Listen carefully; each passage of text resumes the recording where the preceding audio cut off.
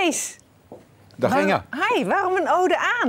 Nou, een ode aan, ja, ik vind het, ja, het leven bestaat, althans voor mij, uit heel veel verhalen en ook veel, eh, veel muziek. Ja, jij bent ook echt zo'n muziekliefhebber. Ja, een muziekliefhebber en een verhalenliefhebber. En daar groei je mee op en dat kleurt je leven. En wat is er nou mooier dan dat je mensen naar voren kunt halen, in dit geval naar Enschede, naar de kleine Willem, om ze een ode te brengen. Om de mensen die, die jouw jeugd en jouw, jouw, jouw hele zijn hebben gekleurd. Maar wie kies je dan? Ja, Ja. oké, we weten eh, Willem Wilming, Ja, dat was Paul eh, van. Vliet, Paul van Vliet. Frits Spits wordt de volgende. Ja, Frits Spits wordt de volgende. En dat is natuurlijk ook iemand waar heel veel mensen, althans van, van mijn leeftijd, die zijn er natuurlijk enorm door beïnvloed. Dat door is ook de, zo. taalspe- hè, de taalstaat, maar ook gewoon ehm, eh, zijn radio. Hij is de, de, de legende. Wat kunnen we verwachten?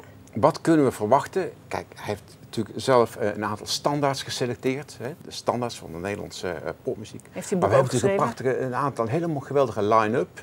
En we zoeken natuurlijk iemand die hem kan duiden. En in dit geval is dat ja, de bekende Henk Westbroek van Het Goede Doel. Die natuurlijk heel veel met hem eh, te maken heeft gehad. Oh, dat is leuk. Dus ja, dat is natuurlijk prachtig. En er zijn nog kaartjes. Er zijn nog kaartjes. En, we hebben ook een Enschede's ingrediënt Ja, Sonna Krom, die Krom. maakt een mooi portret van elke ter plekke. Dus wat wil je nog meer? 12 juli, beste mensen. Fijn dat je er was. Dankjewel, Dank je. Kees.